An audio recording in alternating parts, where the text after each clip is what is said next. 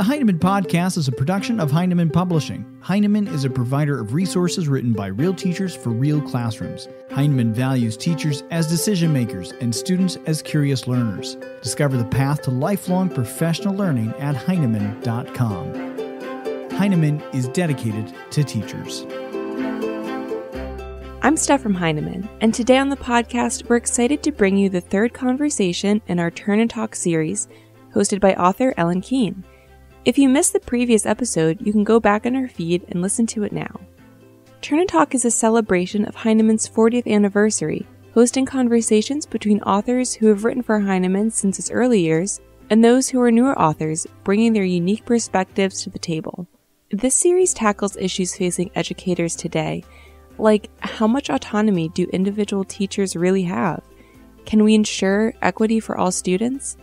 And what's it like to launch your ideas through books and podcasts into the world of education? Patterned after the New York Times' Table for Three column, host Ellin Keene poses questions to authors and engages them in a reflective conversation. In this third Turn and Talk discussion, Ellin is joined by Linda Rief, most recently the author of the Quickwrite Handbook, and Sara Ahmed, author of Being the Change Lessons and Strategies to Teach Social Comprehension as they share their stories of their teaching journeys, teacher autonomy, and student inquiry. Linda is an eighth grade teacher at Oyster River Middle School in Durham, New Hampshire. That's right. And yeah. Sara Ahmed is currently serving as a literacy coach in the elementary school at NIST International School in Bangkok. Bangkok. Thailand. I feel really privileged to do this for, for Heinemann's 40th birthday and really eager to hear what you two have to say about some of these ideas this morning. So the first one that has been sort of on my mind really revolves around the idea of teacher agency. So here we are at NCTE and the theme of the conference is elevating student voice we talk a lot about student agency and, and empowerment and raising student voice. And I think it's precisely the, the right conversation to be having at this point in the trajectory of education and our learning. And I also wonder when when do we talk about our colleagues' agency, about teacher agency, and about how uh, potent teachers feel in their positions right now or not? I worry and I wonder about people who are, for whom the curriculum is being written for them. They feel like they're confined to scripts or pacing guides. I worry a little bit about the sense of efficacy that young teachers feel, particularly coming into the field. And that, you know, when literally when jobs are on the line and they're, they're feeling like if I don't comply, that literally their jobs are on the line. And yet they understand, even from very early career positions, that to comply is not necessarily to do the right thing on behalf of students.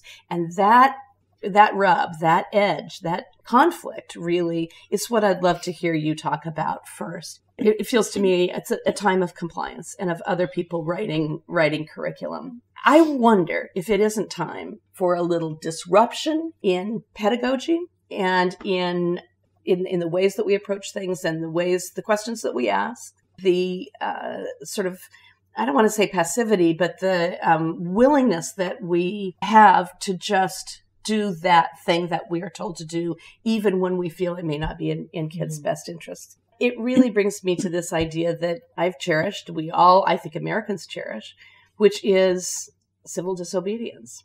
Is it time in American schooling to foster, provoke a little civil disobedience with respect to teachers getting to make the decisions that they are best equipped to make. Well, I, I, I mean, I'm going to jump in. I worry about that because I see so many young teachers that they're afraid to not comply with things that have been given to them. Mm-hmm. And we've now moved tenure up to five years instead of three years. So there's even a longer time period where they're really nervous. They want to be doing what's best for kids. And we talk a good game of, uh, I think so often in administrative circles that we're always doing what's best for kids. But I don't think it's what's best for kids if you're not with those kids day after day after day. So I, I worry that we bring young teachers in who we're trying to hire the best teachers we can find. And yet then we don't trust them enough by handing them somebody else's guide and tell them they must comply. Who can't know the children. Right. Someone Yeah. who's written this who can't, Right. by definition, know the kids. Right. Right. Yeah, it's often the people making decisions in education, right, are not in the classroom Yeah. with the kids. It's Yeah. historical. But I think we mask um, compliance with the word fidelity. Like we Ah. sometimes say, you know, I'm teaching this with fidelity. I'm using this boxed curriculum with fidelity. I'm doing all these things, and so then people take on that word. You know, there's always some buzz term, and then administrators use that. I've heard it. We're using this with, with fidelity. Are you using this program with fidelity with your kids? And like that really means to me when I hear it in the tone that it's used is it's compliance. Yep. Well, and say more about what you mean by that. By fidelity, are you following it? Yeah, like following it to the T. Like um, you know, there's curriculums out there that are scripted, and day one is this, right? And the scope and the sequence and the progression looks like this. And I've been in schools where everyone is on the same page, the same day, in the same grade, with five different classrooms with 32 different kids in all of those Yep. rooms. So how could And you pacing guides. This is Pacing guides, that was another, the word you know, yeah. Well, Yeah. where, where is And there? so and where do you know the kids? so that that's sort of what I, I'm thinking. But the teachers uh, use that term with me. Oh, they really use this with fidelity. They've been doing it for five years. We've really, I keep hearing it over and over again. I, yeah, I do as well. Yeah. You know, that's the other part that bothers me or worries me sometimes with teachers that because you don't trust yourself, if I follow this script and it doesn't work, then it's not my fault. Right. Somebody else Right. gave this to me. So I, I worry there's a little bit of that. I'm not confident enough to design or figure out what I should be doing with the kids. So I'll do this and then I don't have to worry about it because it was not my fault. Right. Somebody made me do it. So I I, I mean, that worries me too. And in that in that scenario, Linda, how does a colleague build a sense of agency and confidence when you know when you're in that cycle where you feel you must or you're you're compliant in doing so? How do we help teachers sort of get over that ridge of fidelity and compliance? Well, and I think that's where we as teachers have to begin to talk to each other. And I, I mean, I know as, as language arts colleagues in our building, when we meet, which is only once a month, sometimes twice a month, which isn't mm-hmm. enough at all, but at least in those meetings, we're talking about how'd you get the kids to do that? How'd you get the kids to move that writing? How did you go about assessing or evaluating that? What are the books that you're using with the kids that we can build on? So those conversations I think are incredibly essential, but I also think administrators, somebody else buying materials for the classroom teacher doesn't trust the teacher. So who did you hire? Did you hire the best or are you hiring people because you want them to be compliant? Yes. Well, and if if the administrator or whomever purchases the program doesn't trust the teacher, then I worry acutely that that that passes down to a lack of trust for the kids. Right? One of the things upon Definitely. which your work has always been based, mine as well, I hope, is the idea that we trust kids to make decisions around topic choice, around books that they want to read, and really about how they want to show their thinking and how they want to participate in the community of the classroom Right. and the community outside of the school. Right. Those are choices that we feel comfortable giving kids. But if someone isn't trusting us, then Right. does that lack of trust get uh, pushed out into the classroom? Well, I wonder too if it's in, you know, if you just sit back and kind of listen to the way meetings run, and team meetings, school meetings, professional development meetings. Like Linda, the, the thing you just did was that you asked questions. How did you get the kids there?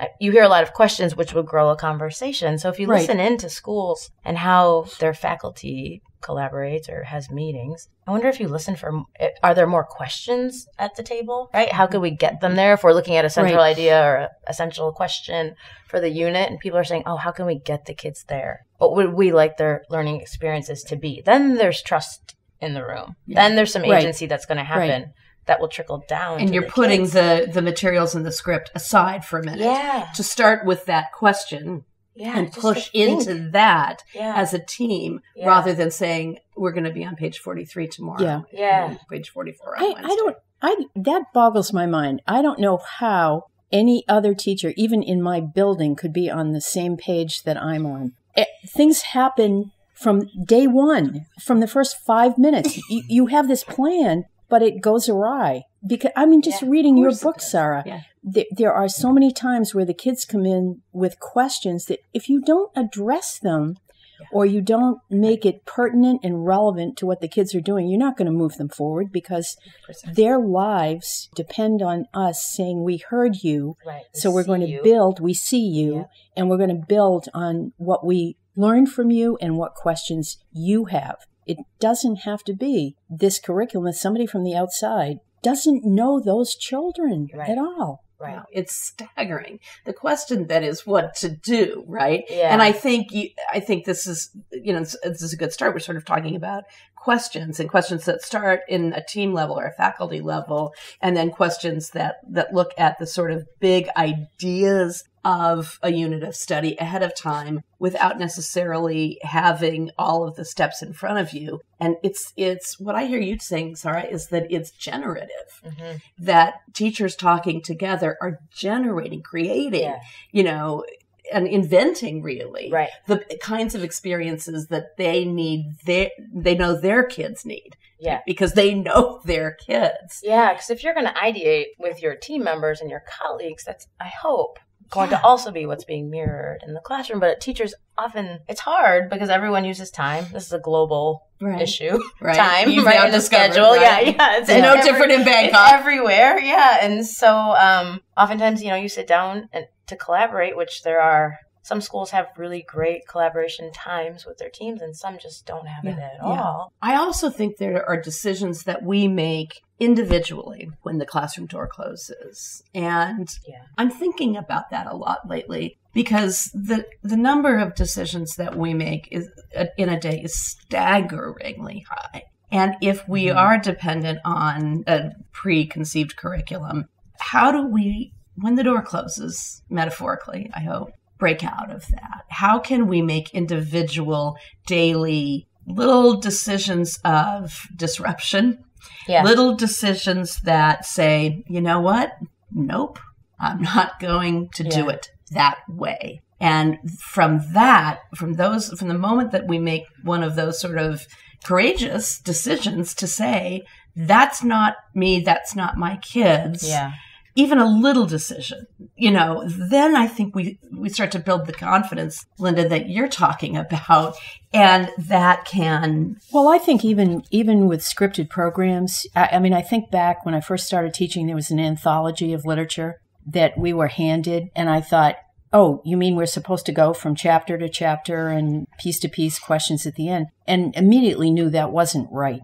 That doesn't make sense to me because you don't know. I mean, you could bring anybody in if you've got the questions at the end. Here's the list of kids in the classroom. You don't know anything about them. Now, I think the way that we start to change that, that closed door metaphorically, is you might use bits and pieces of it, mm-hmm. but that doesn't become your entire day. No. And, and you have to start saying, I'm sorry, that's not where we had to go today. Yeah. And you have to start to have the courage to say those things. Yeah, you do because teachers are researchers in so many ways, right? You're researching your kids, you're researching your classroom. If I'm reading both of your books, I'm researching the pieces that will work for my kids Yep. and implementing those. Ellin, even your line where you just said like I'm gonna, you know, close my door and like I'm not gonna do it this way. Even just shifting to say we because that's we're not gonna do it this way. Right, Us in this classroom Yes. as our Us. kids, Right, right? exactly. Because then it's also yeah. then you know Yeah. in trouble because Right. you know you're mm-hmm. saying like we as a community Yeah, in this classroom are not gonna do it this way. we're we're going to make this decision and i'm going to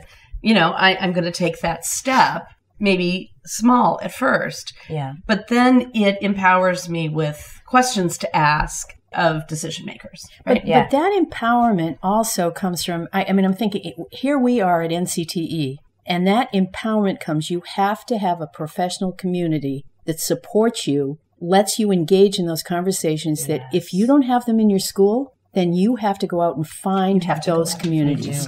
And that, I mean, that energizes me. Even if I don't have those conversations right directly in the school, I certainly have them here. And I'm confident to go back and say, I know Ellin, I know Sara, I know people who really speak highly to what engages kids. And I'm going to have that confidence and that energy to go back to the classroom and, and make some of those decisions. Definitely. The one one of the things that's helped us at, at our school recently is the idea of, and this just comes from our work with Matt Glover, the projection Yeah. over the plan. Yeah.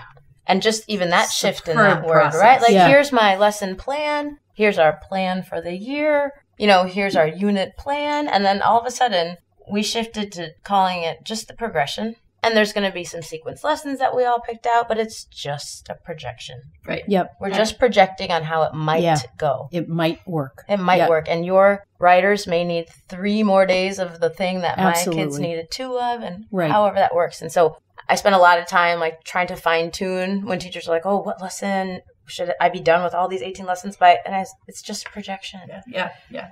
That Give actually was is one of the most brilliant pieces of work on curriculum that I have ever read. Matt and Mary Alice uh, Berry's book, and I, I remember the line that I think is so relevant to your conversation here today. From early in the book, when Matt is quoting his little toddler, it, when something would ha- be found broken or something had gone badly awry, and Matt would say, "Harrison, how did this happen?" And Harrison would say, "I can't know." and I that, that those three words I can't know is really everything that we're talking about, Yeah, right? Because great. we can't know. Yeah. Yeah. And nor can people who are, you know, who are providing this written curriculum, you know, that that people are using with fidelity. I think you're both right about the essence um, and the sort of essential nature of having a learning community. And I think about places around this country where I've worked in rural areas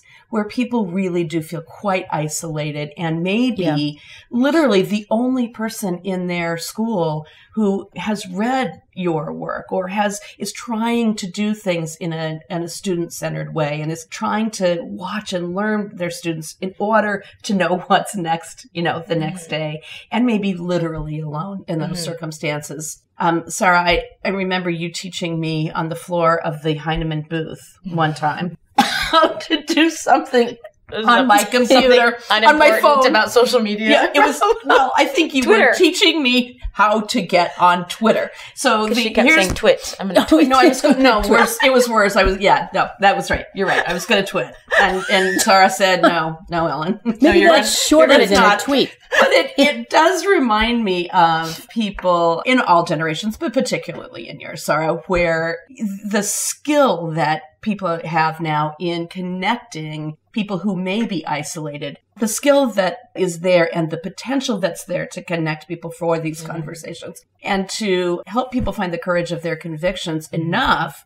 to go into the classroom and say, we as a community are not going to do this. The civil disobedience Yeah. side of this, I think, is extremely powerful. And we've seen that happen through Twitter threads and through online conversations and online courses. I would love to hear more about your thoughts about civil disobedience in and using that technology as a a vehicle for doing that is are we calling for civil disobedience in a small way I think so. I mean, I, have a little bit of it in me, just As since I was a I, kid. yeah. Yeah, yeah. I, you can look at my first grade report cards to see where my civil disobedience Started, was marked. yes, Start- yeah. yes.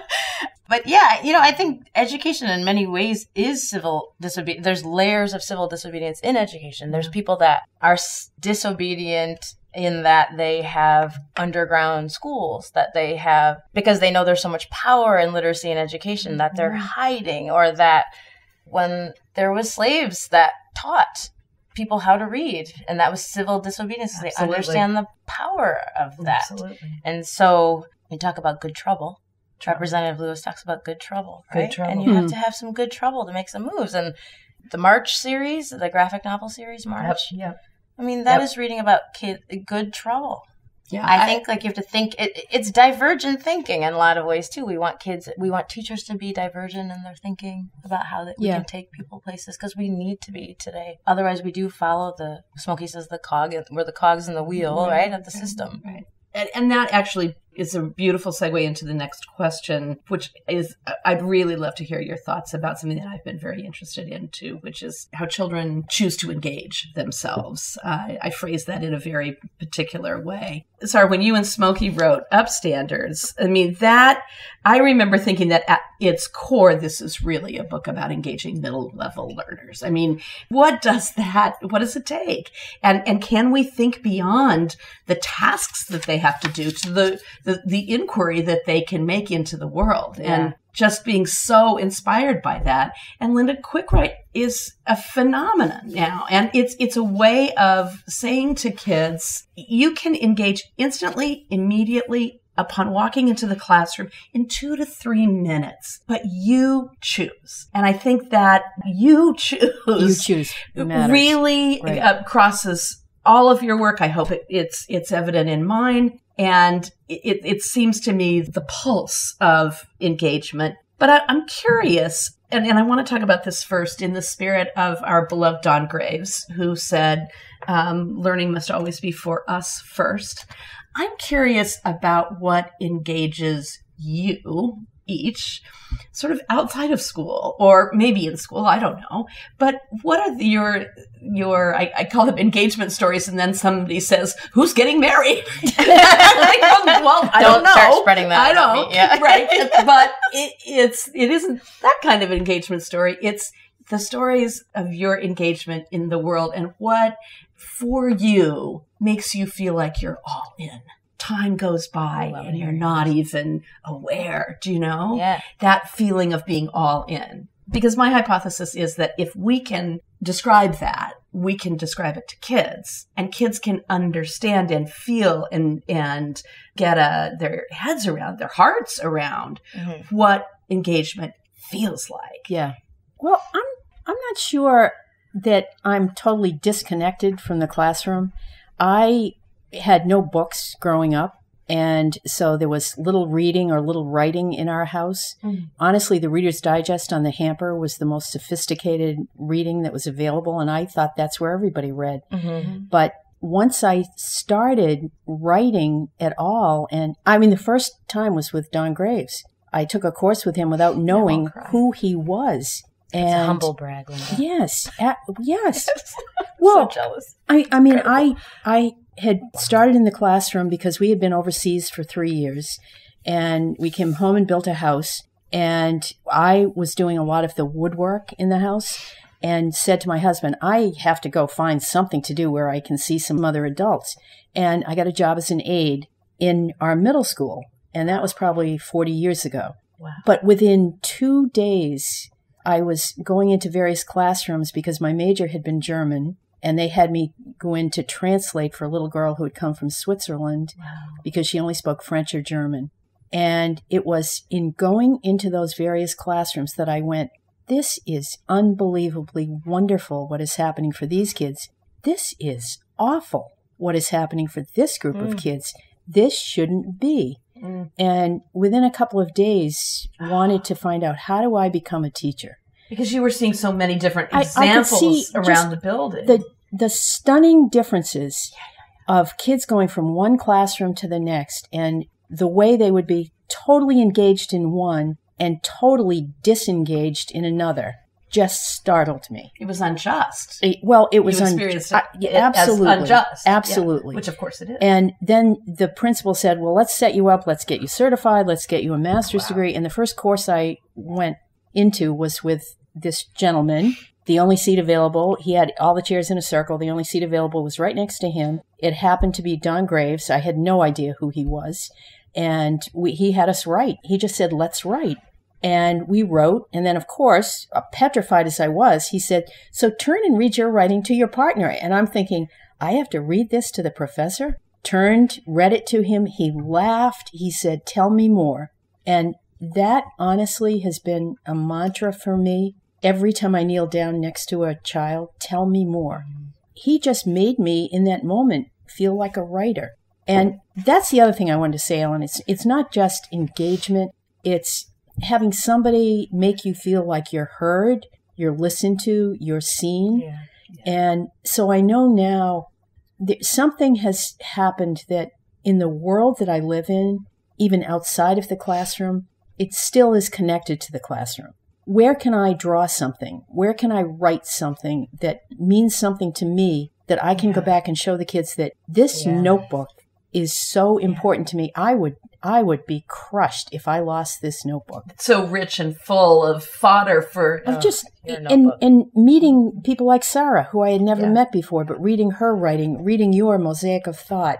There's something in the world. I, I mean, I love going to my grandson's soccer games or to my granddaughter's performances, but there's something that's Mhm. always connected to that outside the classroom that still I'm always thinking, how can I make it better in the classroom for kids by living in that world, meeting people, seeing who they are, seeing what they're reading, what they're doing, what they're thinking. Mhm.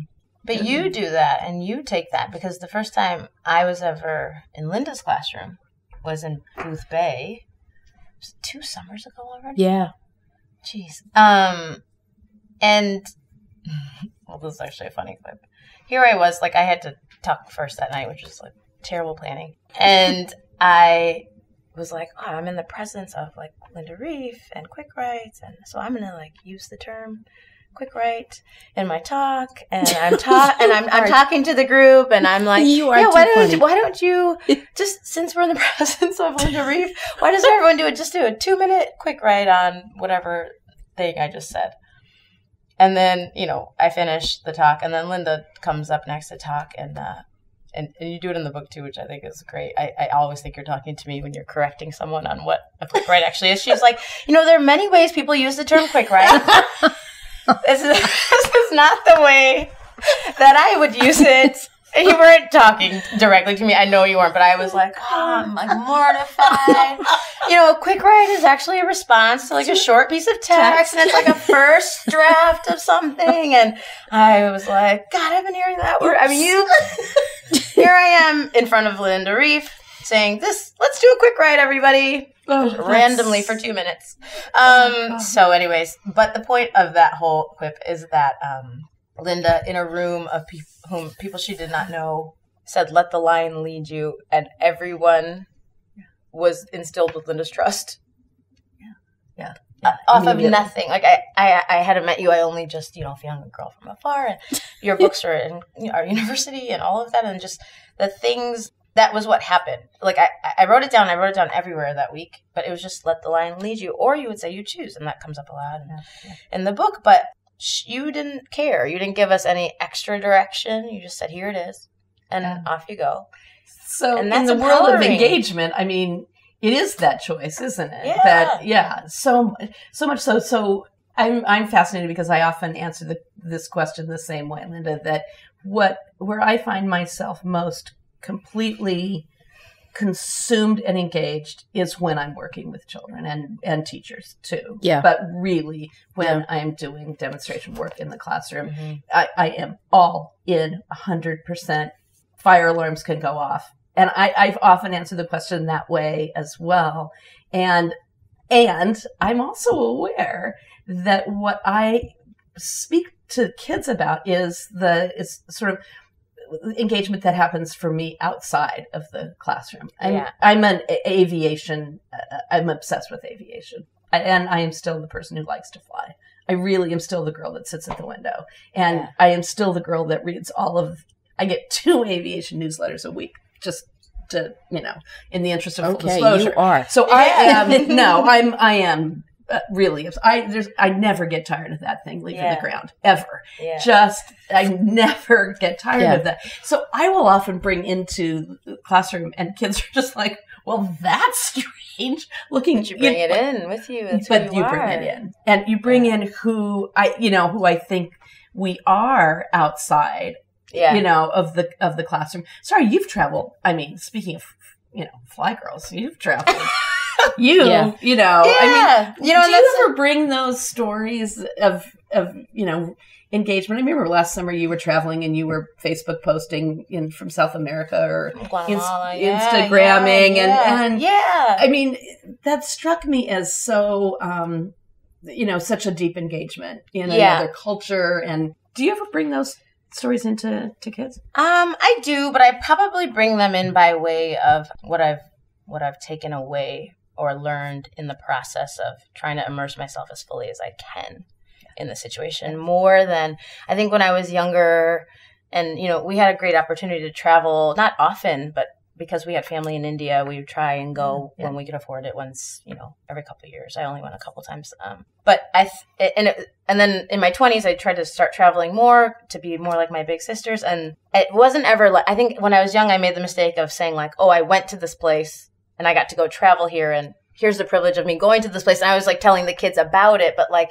I wonder really what it was that I was bringing back. So now it, it's a little bit different for me because I don't go thinking like, what am I going to bring back from this place? Right. I go in thinking like, how am I going to fully immerse myself in the exactly. place that I am in? Yeah. And a lot of times, and people that know me know this about me. It's it's based around sports, yeah. you know, and like wherever I am. If I'm in Guatemala and I just start playing soccer, if someone lets me with the kids, you know, mm-hmm. on the street or in the yeah. in the back of the schoolyard where yeah. we were walking, um, a lot of that. I bring a lot of that in, and I and I often say that coaching kids in sports is the best part of my day. And that's not to take away from the classroom, but that's because I see kids in a completely different way and that engagement, watching their engagement on the field, and I, me knowing myself as a kid athlete, yeah, yeah. that brought so much more uh, wealth to my teaching. Yeah, because I saw them in a different way. I knew I could coach them on the field in one way and bring that same coaching strategy into, into the classroom. The classroom. Yeah, yeah, yeah. I, I think that um, that just I wish I wish I could just audio tape. Oh wait, we have. Um, and and just like take what you've both just said back into your classrooms. Because i think kids are are absolutely fascinated not exactly as you said sorry not ex- about what you did or what you know in particular where you went or what class you took or whatever but about the process of finding yourself immersed. Yeah. And i wonder and i try to propose in engaging children that if they know the stories, not all, I mean, just, you know, here and there of others, not just teachers, but their own, you know, moments when they were so fully engaged, mm-hmm. that that is contagious, that that's a virus in the best term, the best sense yeah. of the term. And that in this era, we always find ourselves saying in this era and all of that, all that that implies isn't it helpful in a way perhaps that it hasn't been for kids before to bring those stories in? Mm-hmm. Because engagement for kids outside of school may look very different than it did, Linda, when you and I first started teaching. Yeah. yeah. And, um, you know, when there was play and there was, yeah. you know, talk around the dinner table and all of those kinds of things. You know, I'm not privileging that or, or saying that that was a better way, but I do think there's an increased call for discussion uh, in classrooms of what it is that um, happens what are the conditions that we're in which we find ourselves in that state of total well, immersion. you know there's i was reading the boys in the boat which i adore that book. I didn't think i would like it because i've i've never really been a reader so i'm kind of a slow reader and that book is packed with information. But have you either one of you read that? oh my gosh. No. it's just fabulous. But there's a, a portion of that book, there's just one little section about swing, where the, it's the crew that won the Olympic gold medal yeah. in the 1930s on, oh, when they were in Germany. And it's phenomenal.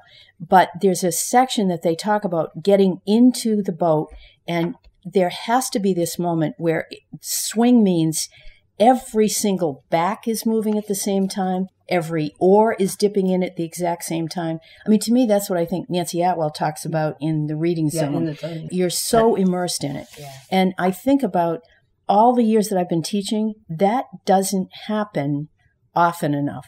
I, I mean, there are times I can I can remember the day that all of a sudden I looked up and I saw 27 kids so immersed in the reading they didn't even hear the bell. Yeah. Yeah. Yes. Nobody wow. moved. That's so what powerful. I'm talking about. And yeah. that's the kind of thing that I'm always hoping will happen, right.